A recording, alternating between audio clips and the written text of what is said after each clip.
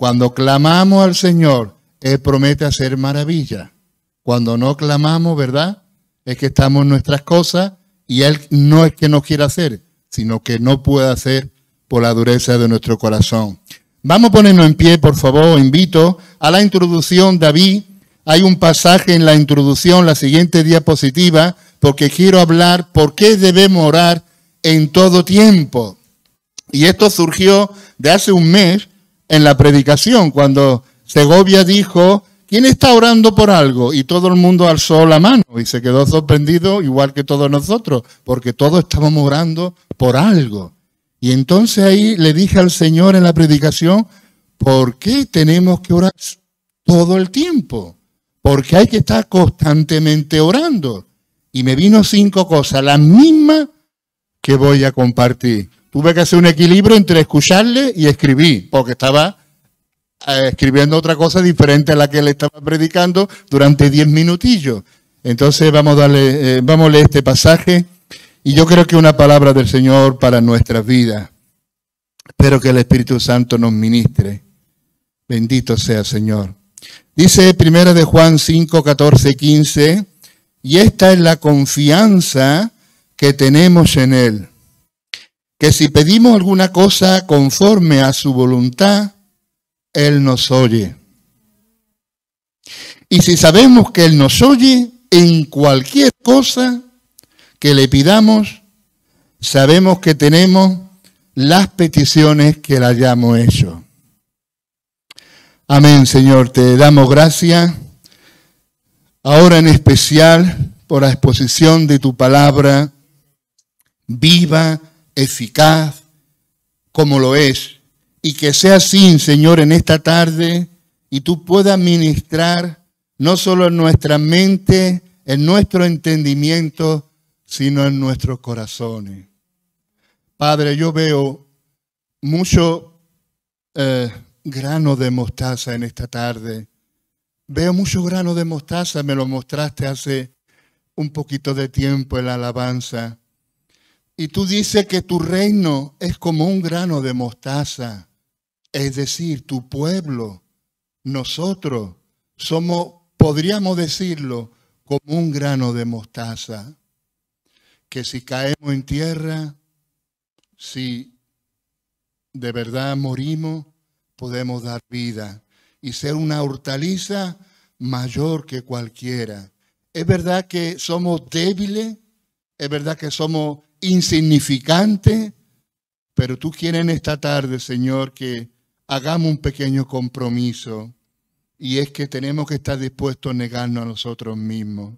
Ayúdanos, Señor, a negarnos nosotros mismos, a tomar tu cruz, es decir, a estar dispuesto a sufrir por ti y por el reino y a seguirte. Es la única manera que podamos dar fruto, que podremos dar fruto si morimos a nuestros deseos, a nuestros propios proyectos y estamos dispuestos a negarnos a nosotros mismos y te decimos, heme aquí, Señor, quiero hacer tu voluntad. Ayúdanos, Señor, en esta tarde a comenzar con esta visión de que tú tienes grandes proyectos para cada uno de nosotros.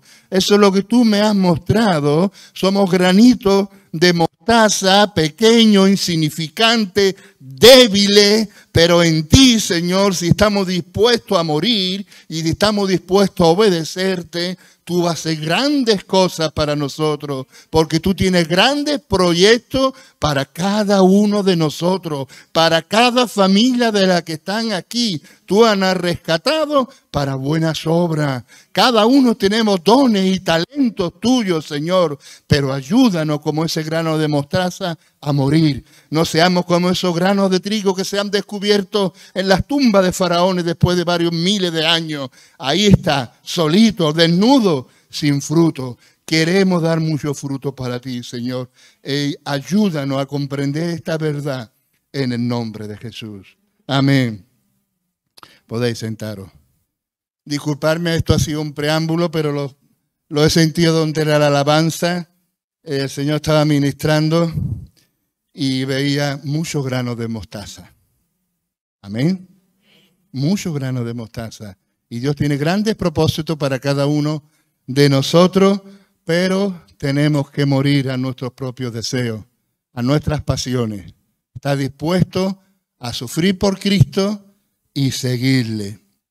Pues muy bien, aquí nos dice, ahora entramos ya en la predicación de orar en todo tiempo, nos dice el apóstol Juan, ¿verdad? Y esta es la confianza, la tranquilidad, la familiaridad que tenemos. No dice que tengo. Es cierto que vemos a Juan y los que hemos leído un poco de su biografía del apóstol Juan, ¿verdad? Él se autotitula el discípulo amado. Pero ahí estaba uno de los tres discípulos más cercanos a Jesús, junto a Pedro y junto a Santiago. Era hermano de Santiago.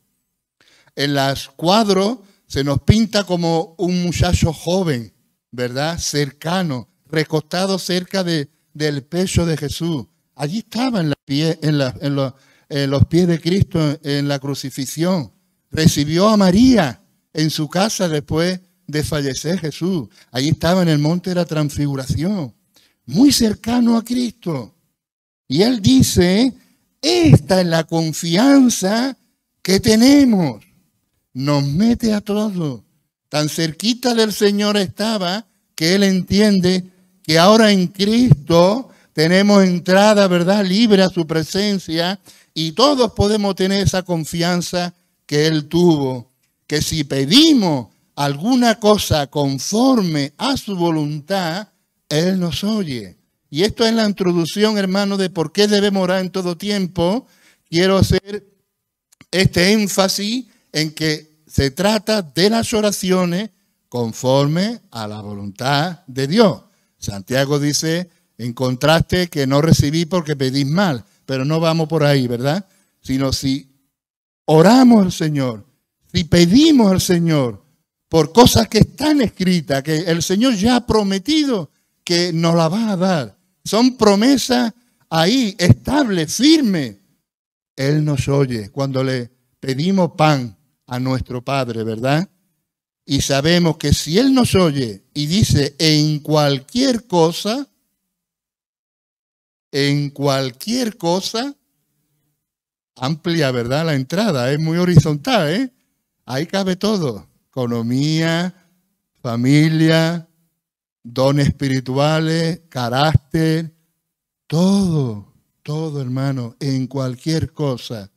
sabemos que tenemos las peticiones que hayamos hecho. Pues quedémonos con este pasaje para meditar durante la semana de Primera de Juan 5 y ahora vamos dentro de esa voluntad de Dios, ¿por qué hay que orar tanto? Cinco razones para orar. Cinco razones que, como dije antes, el Señor me ministró eh, hace un mes acá en la reunión y me puso estas cinco cosas. Seguramente habrá más, pero las cinco que apunté en diez minutos son las cinco que comparto. La primera razón es lucha espiritual. Hay una batalla espiritual, angelical, ¿por qué no? Diabólica, demoníaca, cuando oramos, que la mayoría de las veces o en algunas ocasiones no somos conscientes.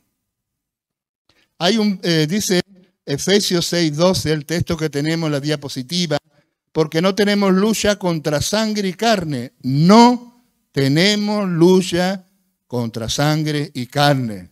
Recordad que el Evangelio nos dice, ama a tu enemigo. Ya no hay lucha física, ¿verdad? Sino contra principados, contra potestades, contra los gobernadores de las tinieblas de este siglo, contra huestes espirituales de maldad, de maldad en las regiones celestes. Nuestra lucha es espiritual. Y Dios nos dé discernimiento en situaciones en las que estamos pasando que no nos damos cuenta en muchas ocasiones. Creemos que es nuestra esposa, nuestro esposo, nuestro novio, nuestra novia, creemos que es nuestro jefe, que es nuestro carácter, que creemos que es la situación económica que estamos pasando, las personas que nos rodean y si la cosa persiste, el Señor ayude a discernir que a veces hay una lucha espiritual, hay una batalla espiritual. Ese día que recibí hace un mes la palabra, el Señor también me ministró a través de la alabanza. Amén, gloria a Dios. Como nos ministra el Espíritu Santo. Damos alabanza, adoración y Él va suministrando como Cornelio, ¿verdad? Yo muchas veces le digo, casa de Cornelio, Señor, casa de Cornelio, que uno esté cantando, que uno esté predicando y el Espíritu Santo derramándose. Amén. Casa de Cornelio, gloria a Dios. Y ese mes el Señor me quebrantó. Rompió cadenas al nivel de cuando me convertí hace 14 años de nuevo al Señor. Nunca lo había experimentado. El día anterior tuve una revelación, una visión interna de el daño que Satanás estaba obrando en una situación que no era humana, no era familiar.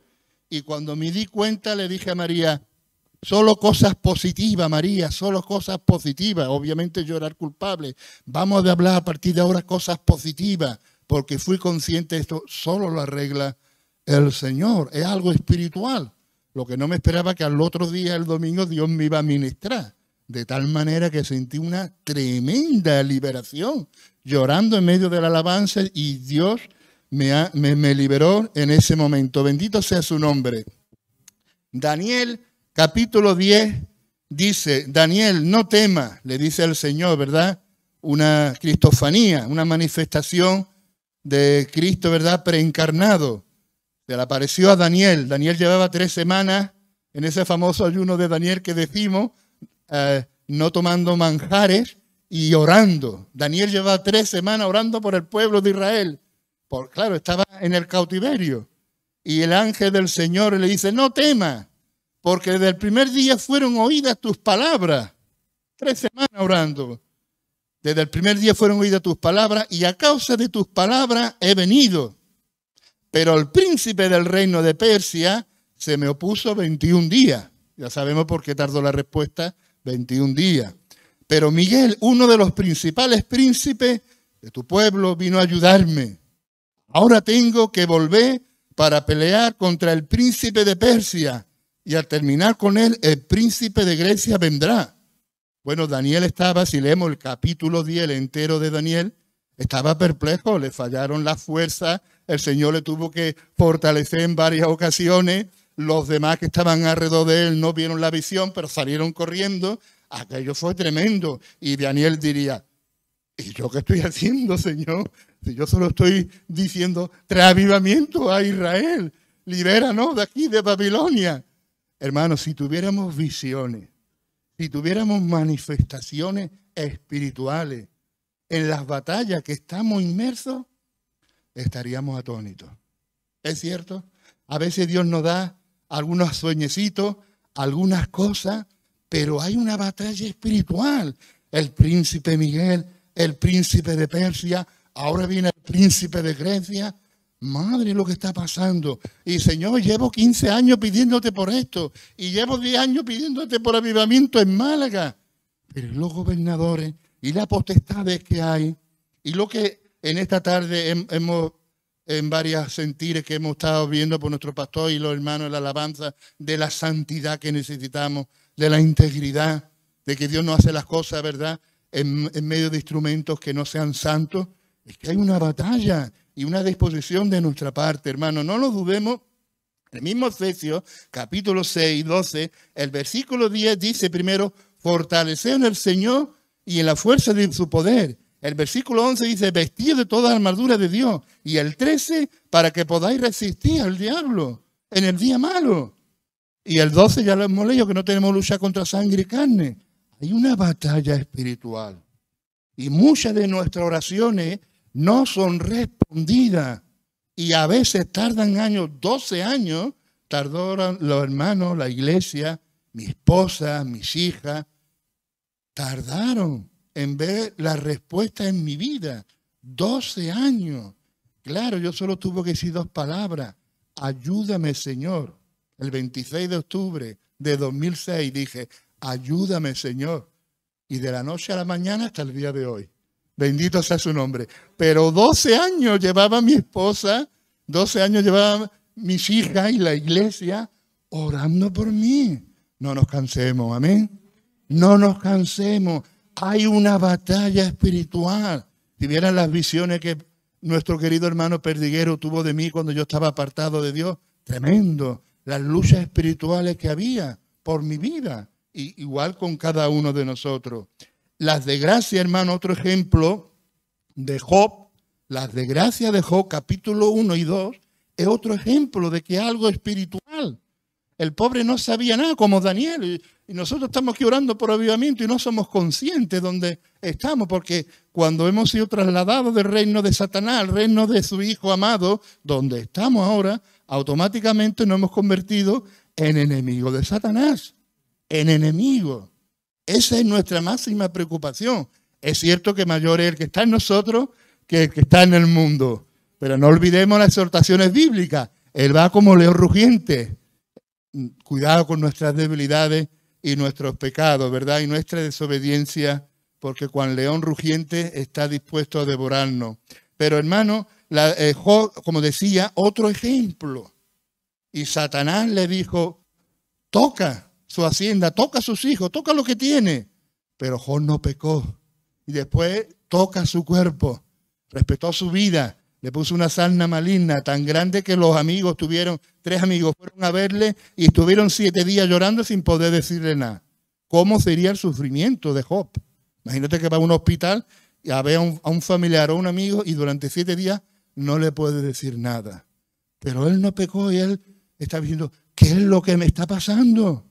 Los discípulos, un ejemplo que siempre pongo, ya lo hice en varias ocasiones, en Gesemaní pasó igual. Cristo en oración, que ahora veremos ese pasaje, Cristo, conocedor de las tinieblas, de lo que estaba pasando en el mundo espiritual, reaccionó de una manera.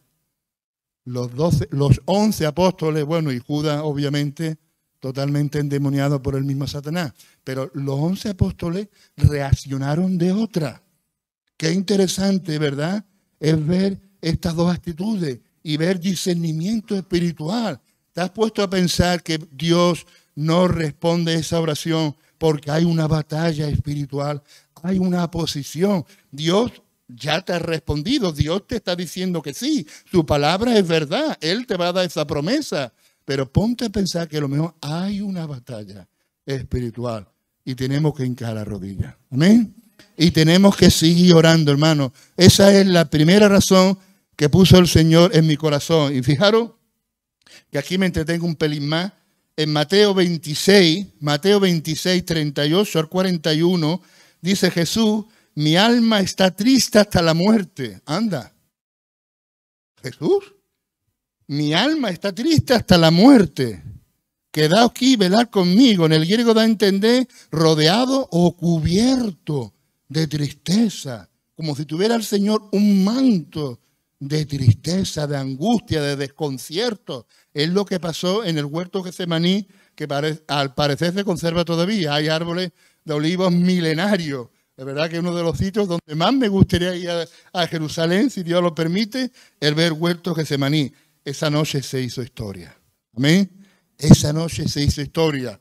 Y se completó al día siguiente y a los tres días, más todavía, ¿no? Pero esa noche fue crucial porque tomó una decisión angustiado hasta la muerte. ¿Te suena a ti, hermano? ¿Te suena, hermana? ¿O qué problemón tengo yo? ¿Qué angustia? ¿Qué dificultad más grande? Pues él estaba así, angustiado hasta la muerte, velar conmigo. Y yendo un poco más adelante, sobre su rostro oró, Padre mío, si es posible, eh, pásame esta copa, no sea que lo que yo, sino lo que tú. Luego vino a los discípulos, ¿verdad? Así que no habéis pedido velar conmigo una hora velad y orad para que no entréis en tentación. El espíritu, la verdad, está dispuesto, pero la carne es débil. Hermano, este versículo de la carne es débil, a veces parece que lo hemos tomado muy erróneamente. Lo hemos sacado de este contexto. No se trata que me voy de vacaciones con mi mujer, una semanita ay, me voy, bueno, ahora está la cosa un poco difícil para las vacaciones, ¿no? Y claro, ahí puedo tener algunas tentaciones, me puedo relajar, mirar más de la cuenta, etcétera, etcétera, no leer la Biblia. No, hermano, velad y orad, porque hay una batalla espiritual. Ese es el contexto del versículo. Este versículo, si lo miramos bien en su contexto, tiene una connotación diferente. Vela y ora porque Satanás quiere destruirte. Y hace, hace 26 años lo consiguió conmigo, tristemente. Dios me restauró de nuevo para su gloria. Pero cuánto hoy, amén, gloria a Dios, pero cuánto hoy de los que hemos conocido no están con nosotros. No están con nosotros. Satanás lo ha conseguido devorar.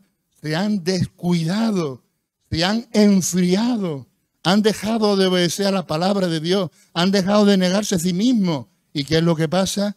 Pues Satanás puede, ¿verdad?, destruirlo. Entonces es muy importante que sigamos velando y orando, porque en esta batalla espiritual, y si en estos días me he dado cuenta de algo en mi vida, porque me ha sido muy, muy grande esta palabra para mí, es que yo soy débil. Yo soy débil. El mundo, la carne, mi peor enemigo, las tentaciones del diablo, los quehaceres de la vida, las preocupaciones. ¿Sabe que hace tres días me dio el Señor una palabra?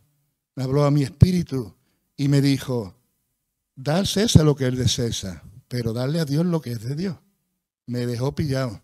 Esa palabra que no surgió de mi mente, creo que del Espíritu Santo, le dije, amén. Y a veces es verdad que estamos muy ajetreados. Y a veces es verdad que estamos legítimamente ocupados. Y no le estamos dando a Dios lo que es de Dios. No sé si te pasa a ti. A mí me pasó. Hace tres días el Señor me dijo, eh, y hace tres días, paro y te dedico este tiempo. Jesús le dijo a los apóstoles, por lo menos una hora, ¿no habéis podido velar? Ahí os lo dejo, ¿vale, hermano? Amén. Que podamos velar y orar. La segunda razón por la cual debemos estar orando siempre es porque está escrito. Orar sin cesar. Nos dice la escritura. Es verdad que tenemos que pasar tiempo de calidad, tiempo encerrado en nuestra puerta, apagado el móvil o, en vibración y no está muy pendiente a él y pasar tiempo de calidad con el Señor. Pero orar sin cesar. Y creo que estaréis de acuerdo conmigo que la oración para el cristiano es como el respirar, ¿verdad? Como nuestro respirar. Constantemente debemos estar orando. Ahora, orar sin cesar, esto no es mío, es un pensamiento que me ha aportado mucha bendición. Dice el hermano, no se refiere a hablar sin parar.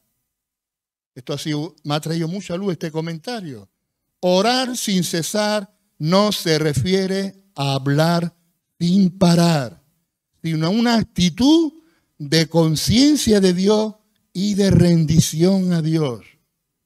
Cuando yo leí esto, fui consciente de que, ay, pues yo llevo años orando sin cesar, bendito sea el Señor. Oro más sin cesar de lo que yo pensaba. Es verdad que a veces el trabajo es el trabajo y una película pues nos distrae también y hasta yo soy muy sentimental y hasta lloramos y nos despistamos pero la mayoría del tiempo te ateas con Dios. Amén. Buscamos su presencia, somos conscientes del Señor. Tenemos esa actitud de rendición, no de rebeldía y por qué esto y por qué lo otro y esto no sé qué y mira lo que me han dicho y mira ahora que no voy a llegar a final de mes. ¿Estamos rendidos al Señor? Somos conscientes de que nuestra vida está en sus manos, que Él controla todo lo que nos sucede antes de que pase. Y varias veces últimamente a María le decía, mira María, hemos pasado esta situación económica, pero hace dos semanas una provisión divina. Dios sabía que íbamos a pasar esta prueba. Y en, otras índoles también, en otras clases. Dios se adelanta, amén, a nosotros en nuestras necesidades. Cuando le buscamos y lo ponemos Él, ¿verdad?, en primer lugar. Entonces, hermano, orar sin cesar es que durante el día, lo más que podamos, seamos conscientes, de, tengamos esa conciencia de Dios y esa rendición a Él en todo momento. La siguiente diapositiva dice la viuda, el ejemplo de la viuda, la necesidad. del Señor, hemos dicho que la segunda razón para orar siempre es que está escrito, una de las cosas. Y está escrito en Lucas 18.1 que el Señor le refirió una parábola sobre la necesidad de orar siempre no desmayar. Qué fuerte, ¿eh?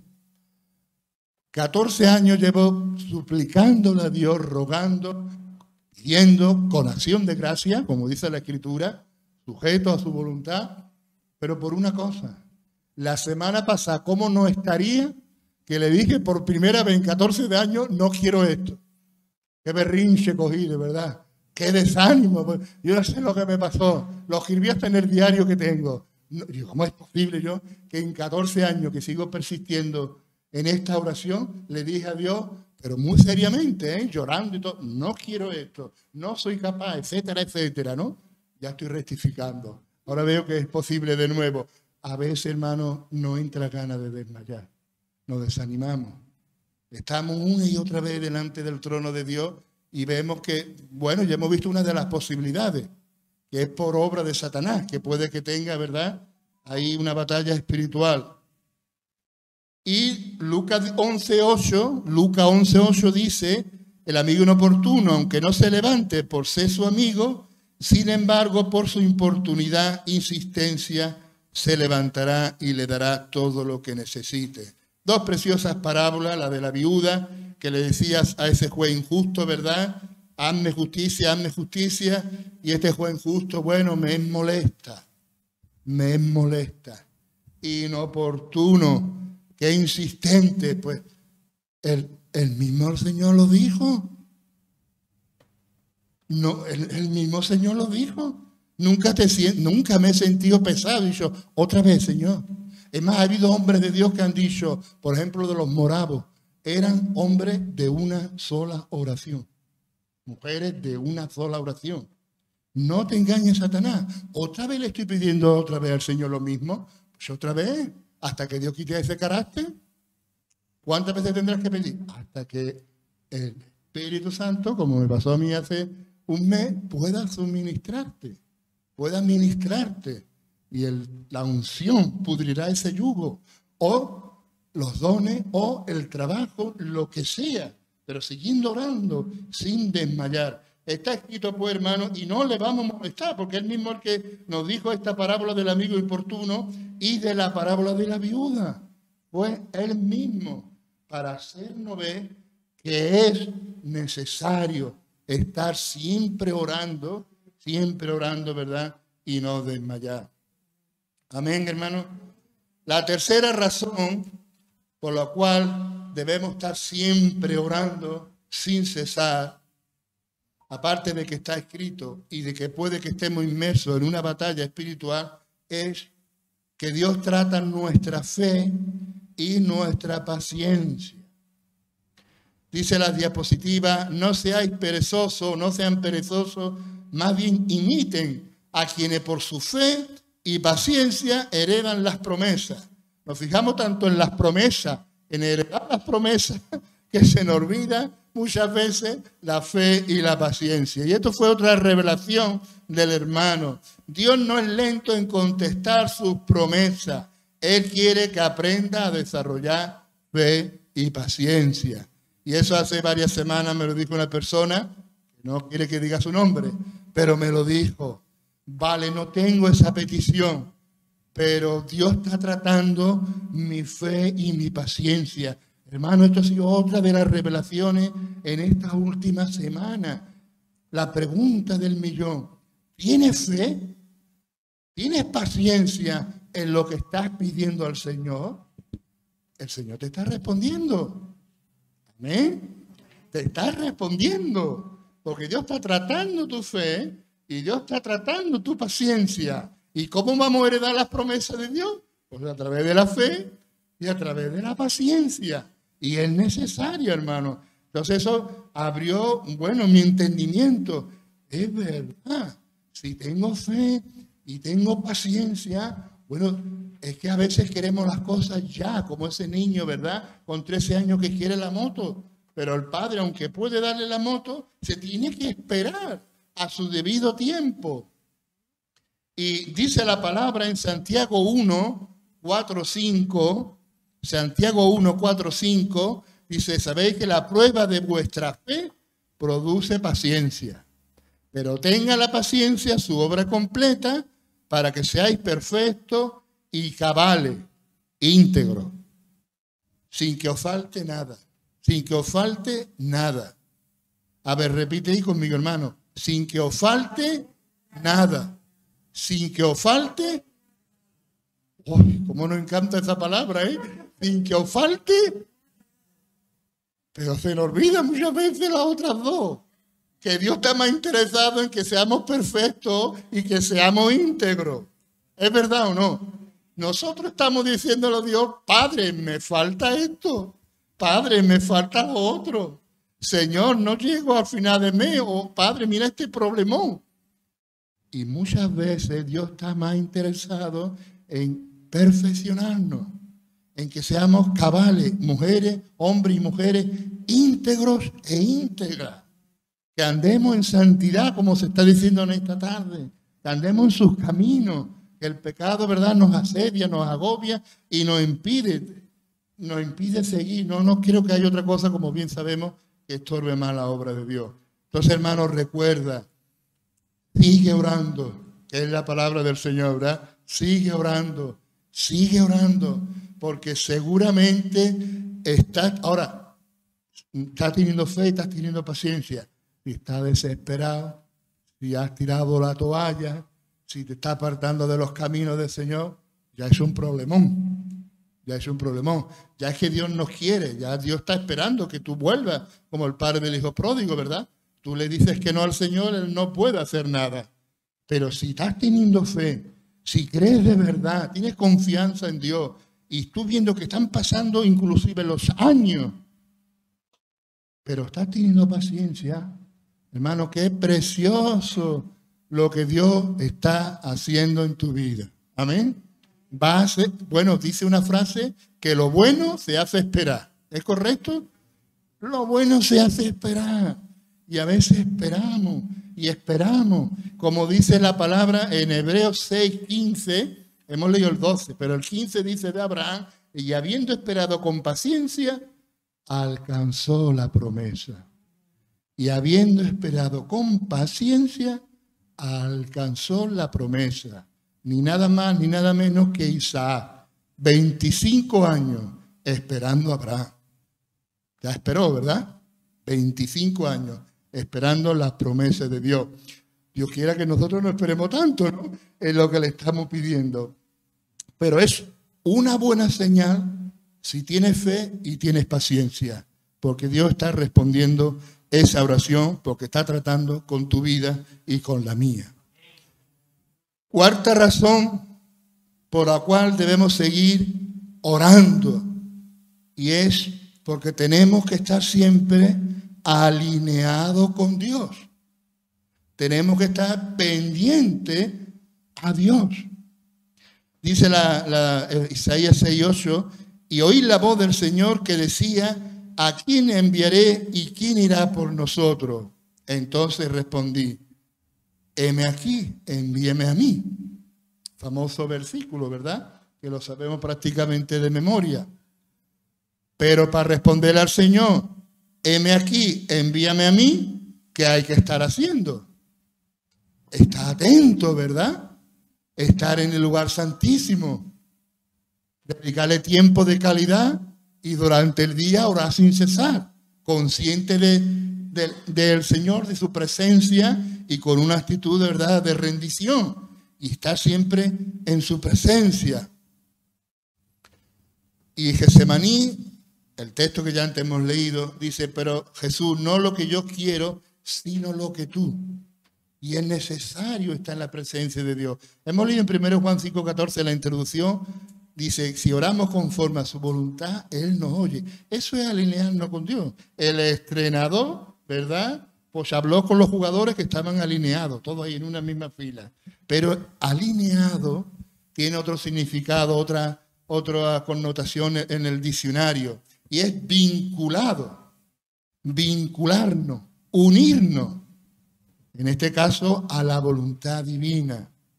Ahora, qué lindo que podamos estar alineados con Dios, vinculados, unidos con Dios, y dedicándole tiempo para orar y leer su palabra. Últimamente, se lo digo una vez a Segovia, cuando oro, digo, voy a orar a través de los módulos.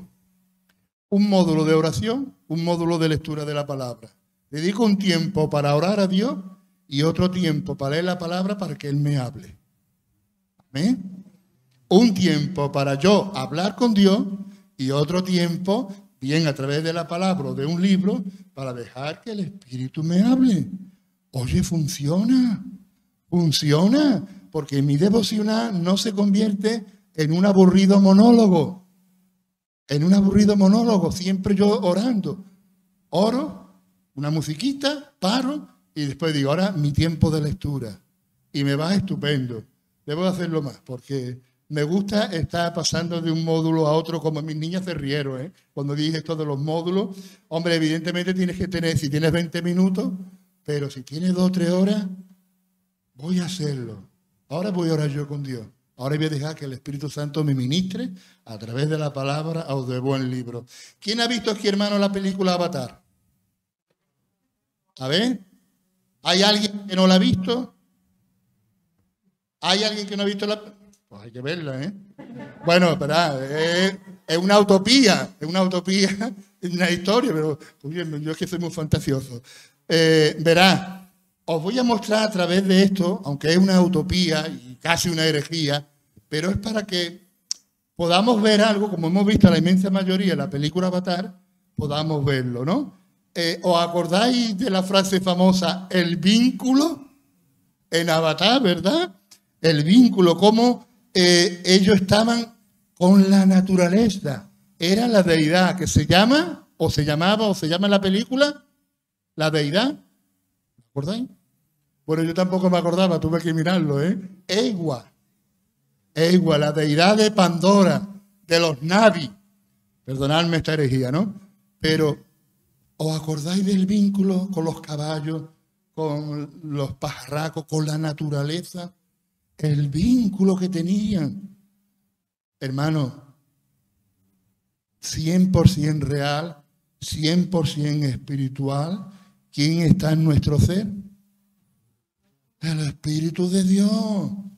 ¿Qué vínculo más precioso podemos tener a diario con el Espíritu Santo?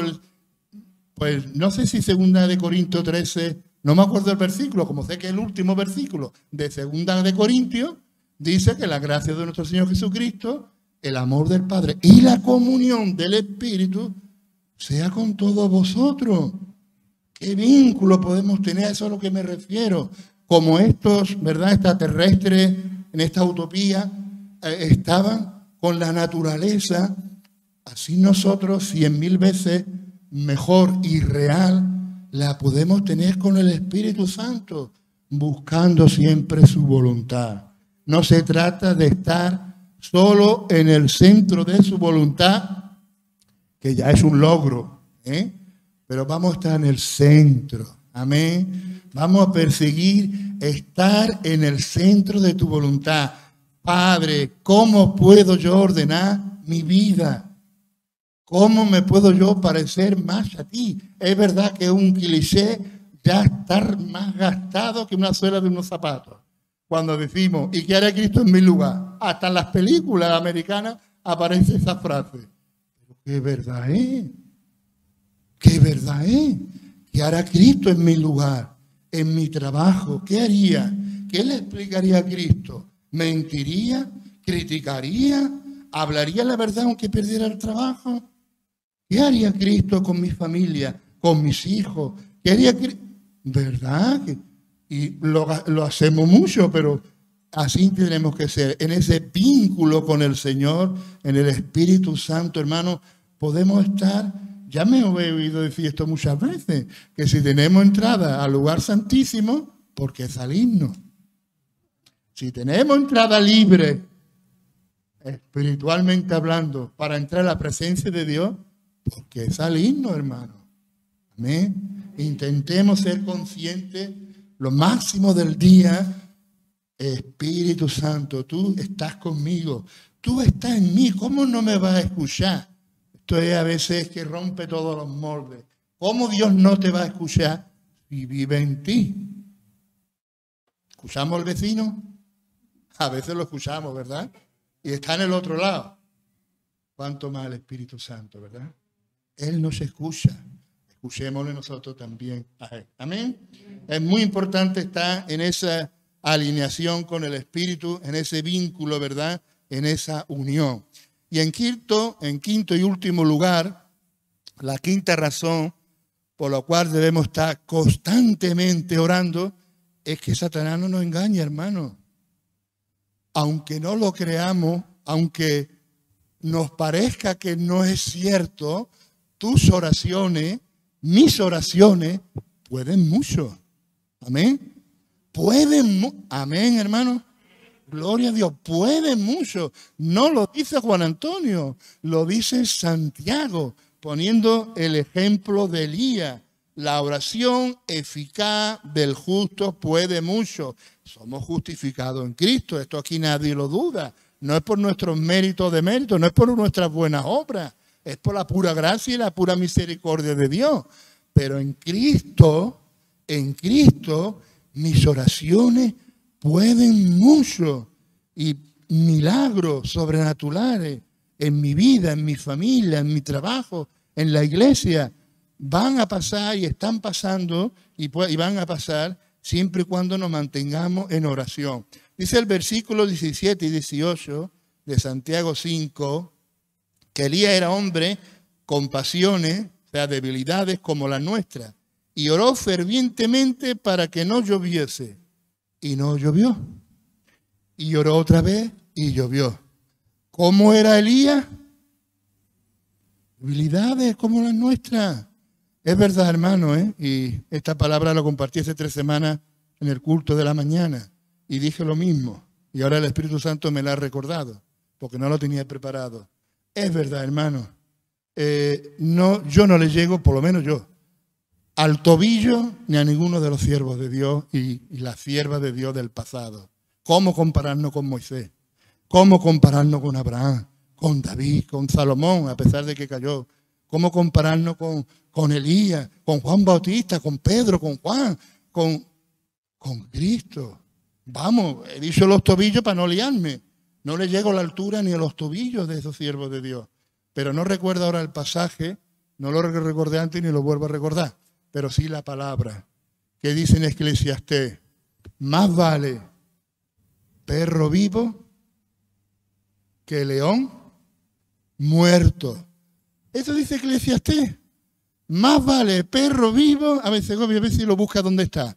Más vale perro, porque es que ya, que como nunca lo busco, más vale perro vivo que león muerto. Y hace tres semanas yo estaba tan débil y viendo como a veces vemos las escrituras y vemos a María, a Marta, a Débora y vemos a Ruth y vemos a Moisés. Y dice, bueno, pero Señor, estos leones han fallecido. ¿Dónde está Segovia? ¿Eh? Le decía el Señor, Señor, soy un perrillo, en el buen sentido, o un perrazo. Hermano, tengo esta imagen grabada de los fallecimientos de mi tío en el seminario, en el seminario, perdón, en el cementerio de Vélez Málaga. Decía, ya nadie de los que están aquí puede hacer nada. Fallecieron ellos y sus obras. Ya, ni 20 céntimos ni, un vaso de agua a nadie. Pero nosotros estamos vivos. Amén. Hoy podemos decir, hoy es el día del Señor. Hoy puedo ofrendar. Hoy puedo orar. Hoy puedo visitar. Hoy puedo llamar por teléfono, asistir. Estoy vivo. Y vale que Moisés fue Moisés y Elías fue Elías y Pedro fue Pedro. Pero ellos están ya en tu presencia. No pueden hacer nada pero tú y yo sí. Amén. Gloria a Dios. Entonces, una de las cosas en la cual podemos ser, y estamos hablando en esta tarde, es a través de la oración. Oraciones débiles, pero el secreto de la oración que puede mucho y eficaz no está en nosotros, sino está a quien oramos, que Él es todopoderoso. ¿Por qué la oración del justo puede mucho? porque a quien oramos es nuestro Padre, que todo lo puede. Amén, gloria a Dios. Y por último dice fervientemente, quería hacer énfasis, eh, la oración de Elías en estos versículos 17 y 18 del capítulo 5 de Santiago, dice que él oró fervientemente. Y aquí el Espíritu también me ha, me contristado, la verdad, me, me, he quedado un poquito oyendo gorriones, como decía Perdiguero, descuadrado. ¿Cómo oro yo por las necesidades? ¿Cómo oro por los enfermos? ¿Cómo estoy orando por avivamiento? ¿Cómo estoy orando por los inconversos? ¿Cómo estoy orando por los dones, por las promesas de Dios en mi vida? Estoy orando con entusiasmo, con ardor y con celo, que es lo que significa fervientemente, viene del latín ferventis. ¿Estamos orando así? ¿O miramos los antónimos? Estamos con tibieza, con dejadez, con frialdad, indiferencia, si lo hace o no lo hace, ah, yo sigo. O falta de ganas de interés, que es la desidia. Esto me ha dejado pensativo profundamente para decir, eh, eh, eh, ¿qué pasa? Que como no sea un familiar directo, vamos a hablar claro, no sea un hijo, un padre o un hermano, que se nos va la vida, oramos, yo me estoy viendo a mí mismo, ¿eh? la autorreflexión que yo he hecho en, estos días. Digo, pues, pues sí, estoy orando por fulanito, por menganito, estoy orando por esto, por aquello, pero a mí no se me va la vida en ello. Lo he, eh, lo he reconocido. No estoy con un celo que contagia, no estoy con un entusiasmo, con un arzo. No, la verdad que no estoy orando fervientemente. Entonces, hermano, Elías era débil, pero oró con entusiasmo. Amén. Con ardor, con celo. No, si tú quieres, Señor, bueno, aquí estoy, yo voy a seguir por aquí. No, con ardor, con celo, con entusiasmo, con fervor. Amén, hermano. Esa oración puede mucho.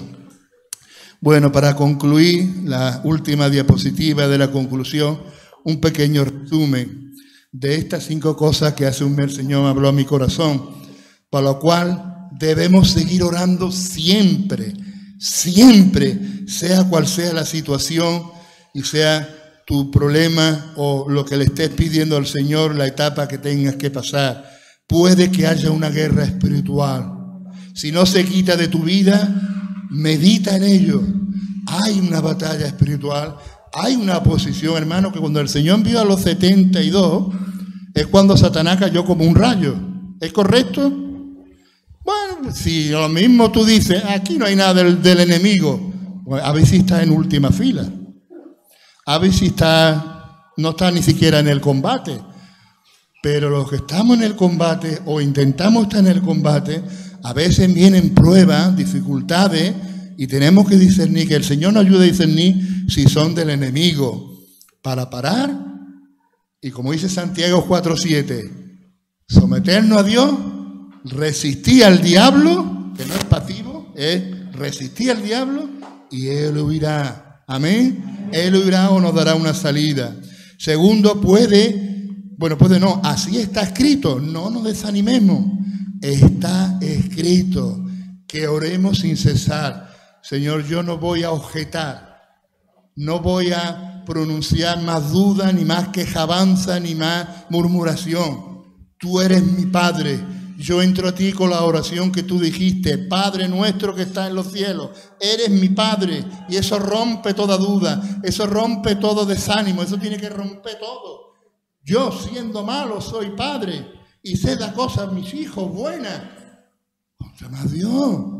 Amén, hermano. No nos dejemos engañar por Satanás. Tiene que haber un propósito en porque Dios está tardando. Y si no es por el enemigo, puede que sea que Dios esté desarrollando mi fe y mi paciencia. Dios quiere que sea una persona íntegra, santa, y me está preparando para cuando llegue lo que reciba, lo llegue y, lo reciba en las mejores condiciones posibles. Tengo que estar orando siempre porque constantemente tengo que estar alineado con ese vínculo con el Espíritu Santo, esa comunión diaria que no me pille. Y últimamente, por lo menos esta última semana, curiosamente ha sido en cada crisis. En cada crisis que he tenido esta semana, antes de compartir la palabra, el Espíritu Santo me ha dicho, ¡bom! Una frase, ¡bom! Una frase. Va, me voy a sincera. Estuve, le dije a Segovia que voy a ayunar y fracasé. No, ya me veis, no he ayunado mucho en estos días. Tristemente, debilidades, que todas las tenemos y la mía esta se nota. Y, sabéis lo que me dijo el Espíritu Santo, que me consoló. El Espíritu Santo consola a los gorditos, amén. A los bajitos, amén. Me y, a, y a los canijos, amén. El Espíritu Santo me consoló. ¿Cómo? Con otra frase que no pude surgir de mí. Me dijo el Señor, yo soy más importante que el ayuno. Me dejó pillado. Me vino muy bien agarrarme esa palabra y ese día comer, pero, pero la verdad, sinceramente, en cada crisis, pero ¿qué es lo que ocurre? Vamos a estar alineados. Vamos a tener comunión. Hermano, Dios de toda paciencia, de toda consolación, es nuestro Padre. Claro que quiere que ayune, claro que lo está escrito en la palabra, pero si no puede, ¿qué te va a decir? Oye, yo soy más importante que el ayuno. Y eso me consoló, bendito sea su nombre. Y luego lo último, lo que hemos dicho de Elías, ¿verdad? Que nuestras oraciones pueden mucho, como dije al principio, son las oportunidades de Dios. Dios ha prometido grandes cosas, pero hay que seguir orando hay que seguir preparando. Y sigo viendo muchos granos de mostaza. Algunos ya son mortalizas, gloria a Dios. Bendito sea su nombre.